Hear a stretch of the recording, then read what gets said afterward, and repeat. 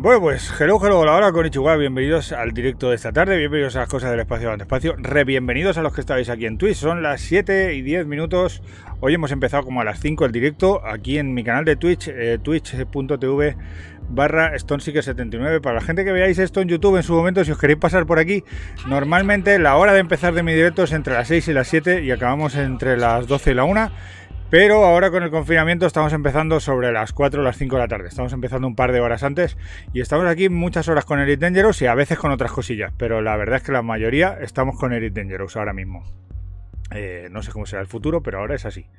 Así que... Vamos a hacer una review de esta Cry Phantom, una nave que hemos votado, hemos puesto una votación aquí en Twitch para ver qué review queríais que hiciéramos, que estas eh, análisis que estamos haciendo de las naves, análisis entre comillas, eh, explicando qué módulos tienen, qué capacidades tienen, qué podríamos hacer con ellas, etcétera, etcétera. Y hoy ha salido por fin esta, esta Cry Phantom que ha estado peleando en las tres primeras votaciones, así que bueno, por fin ha salido una Cry. Eh, la foto que veis es mi Cry que está muy modificada, tiene, tiene kit de ensanche, etcétera, etcétera. Pero bueno, bueno, la foto, que no es una foto, es el juego, en verdad. Pero bueno, vamos a hablar de ella. Ya os digo, de esta nave que fue un poco un groundbreaking en, un, en, un, en el momento que la pusieron. En, en, un momento dado en que las naves medianas parecía que todo lo que iba a salir solo eran naves de combate. Así que vamos con la intro y le damos.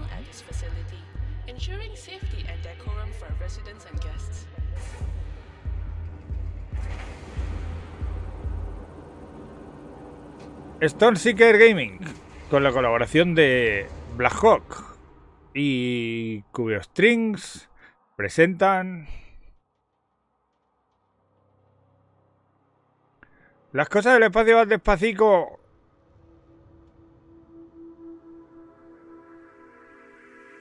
¿3.0? Bueno, pues lo dicho, vamos con la review de esta Phantom. Vamos a echarle un ojo, qué puede hacer, cómo es, ¿vale? Ya os digo, la mía está muy modificada. Eh, vamos a empezar por verla un poco por fuera. Esta nave eh, es de Lacon, puede ser. Lacon, ¿no? Si mal no recuerdo. ¿Es el, fabricante era Lacon? Espérate, Lacon. ¿Sí, no? O sea, me he quedado en blanco con eso. En algún sitio lo pone. Nave, ¿quién te monta? ¿Quién te, quién te monta? No, el que va a ser, el que te monta el que va sentado. Pero esto es Leicon, ¿no? Es como la SP y eso, ¿no? No me acuerdo. Pero vamos, yo creo que sí. Yo creo que sí. Vale, pues lo dicho. Vamos a echarle un ojo por fuera, ¿vale? Eh, esta nave ya os digo que en su momento fue un, fue un bastante rompedora. Si es que me he quedado en blanco por un momento, eh, al actor, gracias.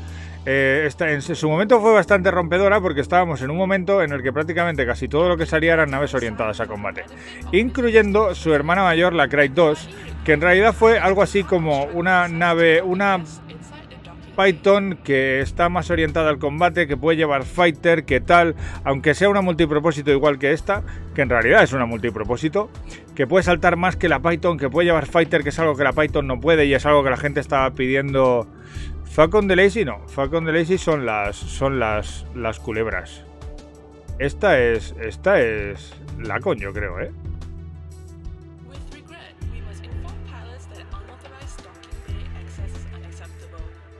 Sí, esto es una de Lazy.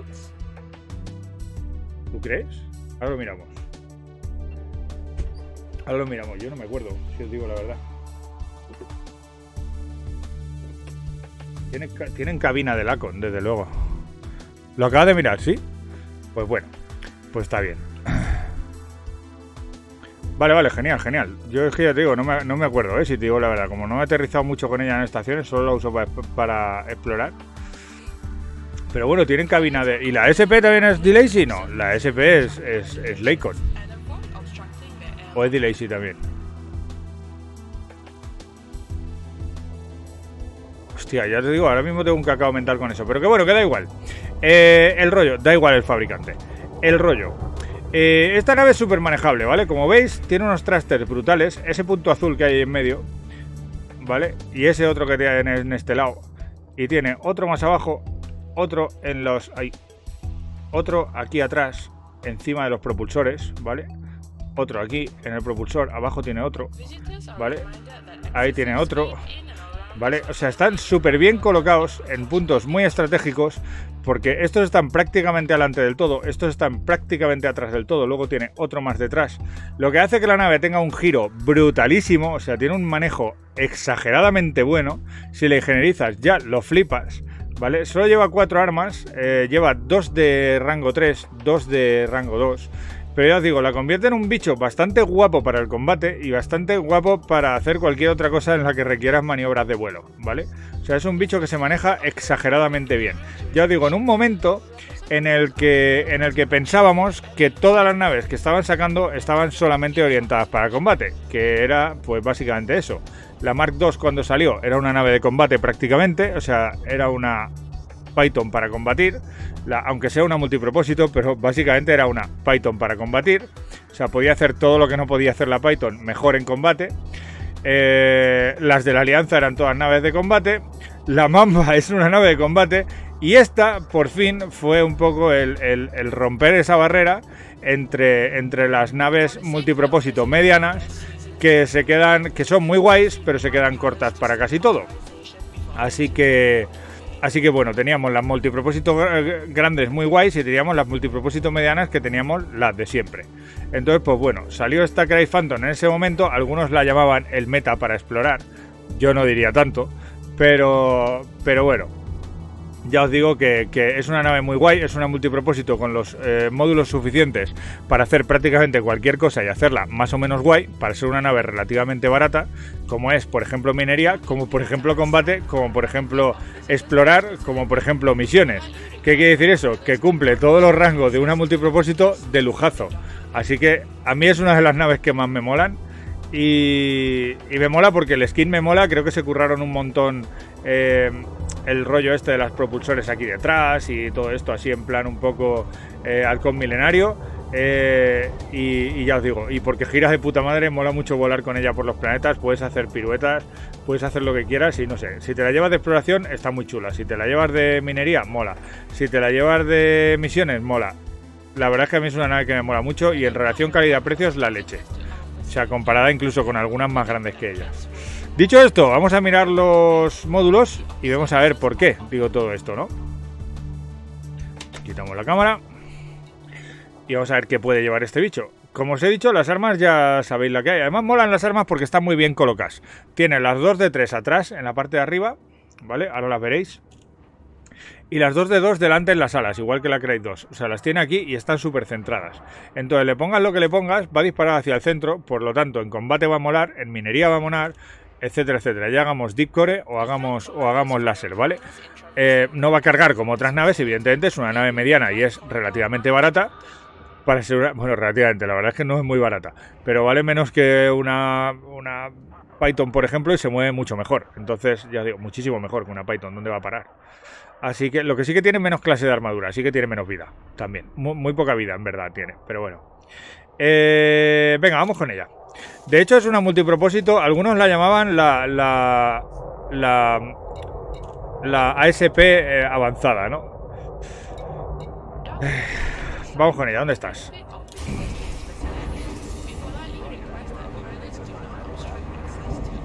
La SP es Lacon, pues por eso pensaba yo que era Lacon. Buenas, Euclidens. Y esto es de. Pues os juro que pensaba que era Lacon también. Eh... Venga, armas, como os he dicho, lleva dos, espacios de tres en la parte de arriba, en todo el medio, ¿vale? O sea que apuntan muy guay, puedes disparar muy guay con ellos y es muy fácil eh, mandarlos a donde tú quieras, ¿vale? Ya sean eh, armas de minar, o sea, en plan eh, misiles para perforar o lo que sea, o la de poner las cargas, o lo que quieras llevar, eh, o ya sean armas normales, incluso armas fijas, apuntan a todo el centro, dentro del, marco central, de, las, ya sabéis que sale un dos, como dos movidas, apuntan ahí, no van al medio medio, pero van muy cerca, ¿vale? O sea que no, no es la típica nave que, tiene todas las armas separadas como las imperiales, ¿vale? Así que la verdad es que mola mucho para dispararle a las cosas, está muy guay, incluso con fijos va de lujo, o sea que es algo que se agradece. Aquí tenemos el otro plasma que ya veis que está en paralelo, uno está en un lado, el otro está en el otro, están en todo el centro de la nave. Y luego debajo tenemos, bueno, otro plasma, el otro hueco de tres, debajo justo en las alas, al lado de la cabina, que además es una cosa que es digna de ver porque cuando estás pilotando, si giras esto en VR, cuando sacas las armas, ves salir el arma y ves lo gordas que son las armas. Estas son de dos, pero aún así ya os digo que son unos mondongos. O sea, incluso para hacer un combo, para hacerte una Vulture con... con para hacerte una Vulture con... Eh, que pueda cortar escudos, apuntaros esa, o sea, os metéis aquí dos, dos Railgun de dos y arriba dos de tres, igual que tiene la Vulture, con, con de esto, Evidentemente no es tan dura como la Vulture porque no es una nave de combate, ¿vale? Es más blandita que la Vulture. Aún así tiene mejor clase que armadura que la Vulture, tiene más armadura, pero el rollo, claro, la nave también es mucho más grande. No se maneja tan guay como la Vulture, se maneja muy guay, pero no tan guay como la Vulture, ni siquiera tan guay como la, como la Chieftain, pero, pero se maneja muy guay. O sea, es, de, las que están dentro del rango de manejo súper guapo, sobre todo para ser una, nave mediana. Eh, así que bueno, como ya hemos hablado un poco de manejo al principio, pues eso. Core internal, ¿qué tenemos en este bicho? Eh, está en el rango de las multipropósitos molonas, por lo que os digo. Tiene una power plan súper bruta. O sea que ponerle, o sea, es una power plan de 7 en una nave mediana, ¿vale? Ponerle prácticamente cualquier módulo, casi nunca te va a faltar energía para nada. Eh, incluso yo que la llevo con cuatro plasmas que chupan energía por un tubo, vale, está ingenierizada a tope, ¿eh? Ojo. Pero, pero aún así, fijaros, que le sobra energía, no tienes problemas y lleva módulos de exploración y lleva SRVs y lleva un montón de movidas y tiene y te sobra energía. La verdad es que es una power plan que se agradece en esas naves multipropósitos que a veces tenemos que tenemos que estar ingenierizando la power plan porque se quedan cortas en casi todas, menos en la Cry 2, esta y la y la y la y la Python, que son las que más sobradas van. Todas las demás multipropósitos normalmente acabamos teniendo que, ingenierizar porque tienen muchos módulos que nos chupan mucho núcleo y tienen poco núcleo, ¿no? Hay, hay pocas que, que tengan que tengan que vayan sobradísimas como las Crytes uh, o, la, o la Python. Eh, los thrusters son de 6, pero sobran. ¿Sobran por qué? Ya os digo, al final el tema eh, que importa mucho es el diseño de la nave. ¿Vale? Entonces la nave está diseñada para correr, está diseñada para girar. Eh, coge casi los 600 cuando la ingenierizas mucho. Si la ligeras, coge más, es más rápida todavía. Eh, gira muy bien, porque los trastes son muy grandes y ya os digo, es una nave que es en general es plana y están situados en los bordes. Entonces, cuando, cuando gira es tope de bestia girando. Ya os digo que a mí tiene una guiñada brutal también. Eh, ya os digo, a mí es una nave que en cuanto a manejo es de lo que más me gusta. Esta la Vulture y la Chieftain. Son mis tres naves favoritas en cuanto a manejo se, refiere y las tres se manejan muy similar, o sea, tienen un, un, de esto muy similar, ya os digo. En escalada sería la que mejor la Vulture, después la Chieftain, después esta. Pero digo que la diferencia es muy mínima, ¿eh? Es, bastante, bastante bestia cómo se maneja esta nave. Si le ingenierizan los motores a sucio, ya lo flipas. Ya os digo. Motor de salto, lleva un 5A, eh, pero hay que tener en cuenta que tiene una masa bastante pequeña porque es una nave mediana, eh, su masa óptima está bastante bien optimizada en general y salta bastante. No llega a saltar tanto como la SP, para los que dicen que tal, yo creo que salta un poco menos, pero aún así salta bastante. O sea, es una nave que salta mucho, es una multipropósito y como todas las multipropósitos salta mucho. Eh, evidentemente no está al nivel de la Diamond, no está al nivel de la... Bueno, si la ligerizan mucho, igual que... Pero claro, que si aligeramos mucho la Diamond y si aligeramos mucho la SP, sigue saltando más que esta. Aún así salta un montón, ¿vale? O sea, incluso dentro de las medianas es de las que salta muchísimo. Así que ya os digo, para la gente que le gusta llegar lejos, es una gran nave también. Soporte vital de 4, ya os digo, es una nave que si veis la cabina, etcétera, etcétera, lo que es el habitáculo de la nave es muy pequeño, es más alas que otra cosa, ¿vale? Así que, eh, pues, pues con el soporte vital de 4 me imagino que le sobra. No, sabéis que los módulos pues no, no, lo vas a utilizar mucho, es difícil que te den en el soporte vital porque está muy cubierta, así que bueno, está guay. Aunque no tenga muchos puntos de vida, de todas maneras hay que tener cuidado en combate con ella porque en combate pues no es una nave de combate. Ya sabéis que las naves de combate tienen mejor armadura, etcétera, etcétera, pero aún así mola mucho para combatir. Es una de las que molan para combatir. Distribuidor 7A, una vez más, igual que su hermana la Crate, eh, la Crate 2, igual que la Python, tiene un distribuidor súper bruto. O sea, super bruto significa que es una nave que en cuanto te pones uno o dos pips donde sea, puedes estar haciendo permaboost. Puedes estar disparando mucho rato sin recargar. Con un pip en armas con disparando cuatro plasmas, te sobra para disparar tres veces seguidas y tarda en recargarse 0, si lo ingenierizas bien. Eh, los escudos se regeneran súper rápido. O sea, es un distribuidor súper bruto para una nave tan pequeña. O sea, pero súper bruto, ya os digo. Está en ese rango de naves que a mí me molan porque tiene mucho distribuidor. Te despreocupas de los pips, haces cambios de pips de uno en uno, no de dos en dos, lo cual ya se agradece porque son menos movimientos de pips y menos veces que te quedas indefenso, etcétera, etcétera. Ya os digo que vais a ver que de esta nave no puedo decir nada malo porque es que me cuesta. Me cuesta. Aparte de su armadura, que es una mierda. Las cosas como son. Pero bueno. Las crates y la armadura no son, no son su fuerte. Eh, los sensores, llevo unos sensores de 6, con lo cual llega bastante lejos, es la media en las naves medianas, o sea que es algo normal. Eh, llega bastante lejos, son bastante duros, yo los tengo aligerados porque esta es, versión de salto, versión de tal, y aún así los aligero igual. Y tienen bastantes puntos de, de, integridad, así que están bien, no, ni bien ni mal, están guays, son sensores normales para una nave de su tamaño y ya está, la de 6, que es lo normal en las naves medianas. Y tiene 32 de capacidad de combustible, lo cual lo convierte en una, ya os digo, una nave que puede saltar bastante, que no, que no va a usar combustible eh, constantemente, puedes pegar bastantes saltos con ella sin repostar, eh, teniendo en cuenta, ya os digo, que tiene una masa óptima bastante guapa. Em, opcionales internos. Vale, aquí tenemos un módulo de 6. ¿Vale? Si lo vais a utilizar para. Si la vais a utilizar para, para combate, etcétera, etcétera, pues tenemos un escudo bastante guapo. Tenemos un escudo considerablemente potente. Pero volvemos a lo de siempre. La nave es bastante ancha y bastante gorda. O sea, es bastante ancha en general. Y el escudo, ya sabéis que la potencia de tu escudo es lo que sobra entre la burbuja que hace el escudo y la distancia hasta la nave. Entonces, ¿qué pasa? Pues que el escudo no es exageradamente bueno. ¿Vale? El rollo es que eso lo suples con manejo. Le pasa un poco igual que a la Krite, o sea, perdón, que a la Chieftain y que a la Vulture. No tienen. Bueno, la Vulture para lo pequeña que es tiene un escudo súper bruto. Pero. Pero no tiene un grandísimo escudo, pero como se mueve muy bien, es muy rápida, etcétera, pues, pues está bastante guay el escudo. De todas maneras, ya os digo, podéis poner un escudo más grande, podéis poner un escudo más pequeño, tenéis un módulo de 6 ahí, ¿vale? Un módulo de 6 en una nave mediana. Eh, podéis utilizarlo para más cargas si vais a minar, podéis utilizarlo, podéis utilizarlo para todo lo que se pueda utilizar un módulo de 6. ¿Vale? Tenemos tres módulos de 5. Eh, creo que. No, tres, tres módulos de 5 hay.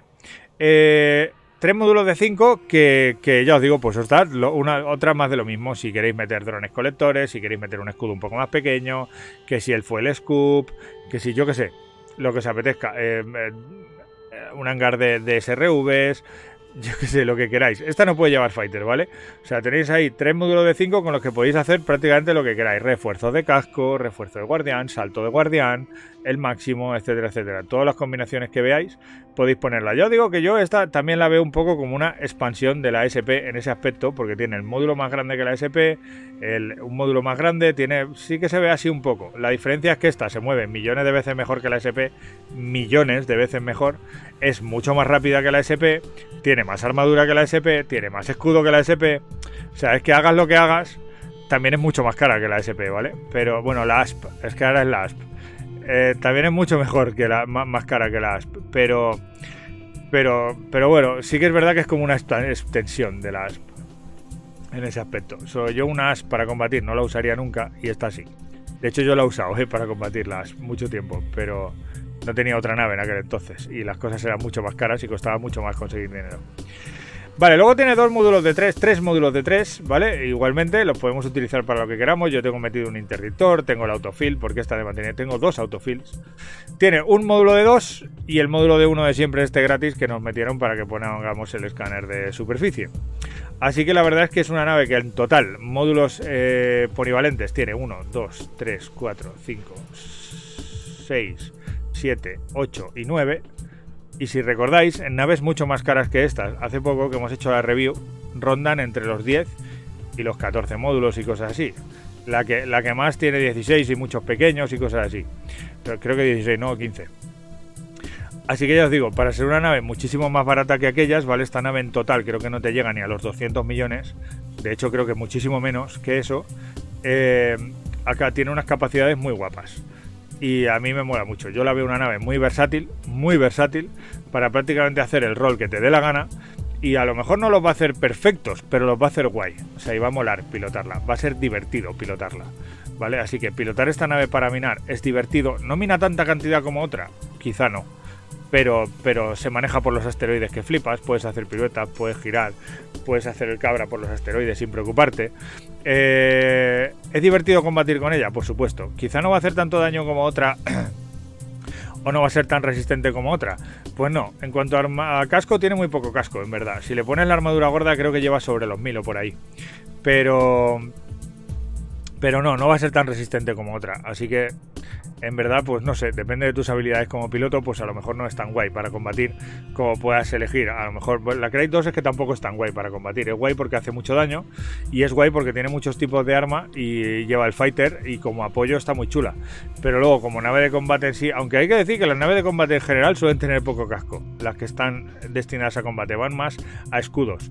Pero en el caso de la Crate Phantom y de la Crate 2, el escudo tampoco es gran cosa. O sea, el máximo escudo que le puedes poner eh, no llega a ser un grandísimo escudo. Llegan, son escudos de mil y pico, cosas así, cuando los tienes muy maximizados.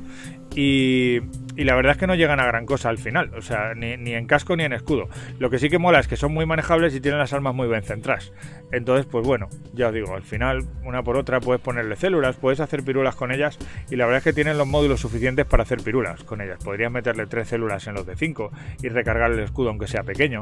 Además no se calienta demasiado, o sea que tampoco necesitaría muchos sinks Y en el caso de las utilities, que es lo que me he saltado, tiene cuatro, ¿vale? Eh, no tiene tantas como una nave de combate, pero está en la media para una nave normal. Eh, está en las medias altas. Así que ya os digo, tiene cuatro que podemos utilizarlas para booster, podemos ponerle eyectores de, calor, podemos utilizarla para explorar y ponerle yo que sé qué, ¿vale? las cosas que podéis pensar que podéis ponerle aquí para explorar, podemos meterle los módulos mineros, o sea, tiene lo suficiente para hacer lo que haga, hacerlo guay y divertido. Ahora que me digamos, ¿es la más óptima para todas estas cosas? A mí me parece una nave de exploración óptima, me parece una nave de combate guay, no llegaría a óptima, y me parece una nave... Eh, multipropósito para hacer misiones óptima. Sinceramente. Así que yo creo que, es entre las multipropósitos a mí es de las que más me gustan. Y, luego de pilotar es una pasada. De pilotar es brutal. Es una de esas naves que te subes y dices, hostia, qué bien se mueve esto y cómo mola. Y me pasa, ya os digo, igual que con la Chista igual que con la Vulture. Hay otras que no me pasa tanto, que son raras, cómo se mueven o que son extrañas, pero esta no. Así que ya os digo, al final volvemos a lo de siempre. Si os gusta, inventaros qué podéis hacer con esta nave. ¿La quieres para hacer misiones? Píllatela. ¿La quieres para saltar por la burbuja y aligerarla de la hostia y saltar con estilo? Píllatela. ¿La quieres para minar con estilo y hacer pirulas por los asteroides y ir rápido a buscar los asteroides de. muy rápido, a buscar los asteroides de, de Deep. Eh, eh, de Deep Core? Píllatela. Quiero decir, para todos esos roles yo creo que lo va a hacer de puta madre, que te va a molar un montón. Y si eres bueno combatiendo y eres capaz de hacértela a tu estilo, a tu gusto y con tus eh, módulos como tú acostumbres a combatir, o la vayas tuneando conforme vaya, veas que te funciona mejor, yo la Cry 2 me costó tunearla para que se me diera bien pilotar, jugar con ella. Pero la Cry 2 es que gira mucho peor que esta, es más lenta que esta, etcétera, etcétera.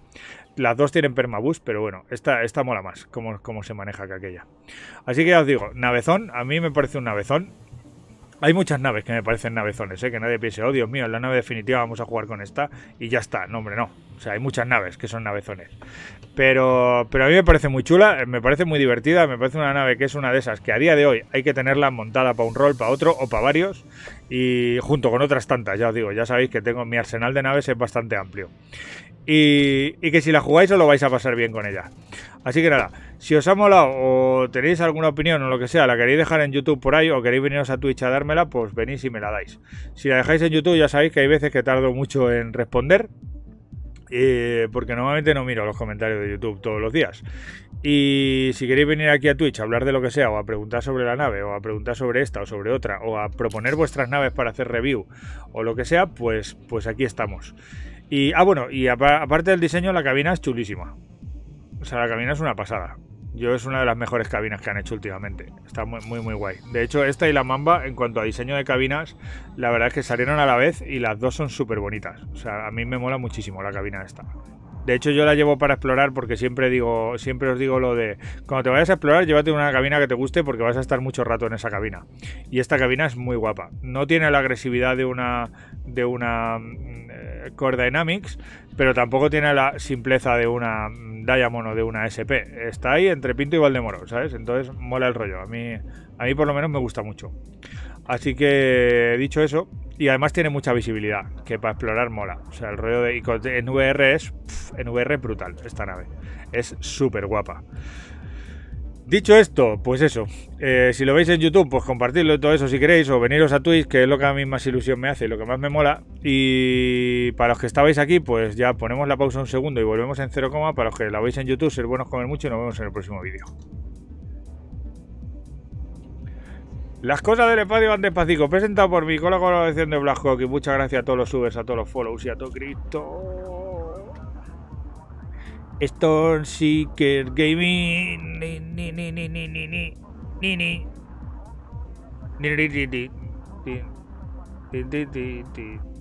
Este gato está mucho quitarse.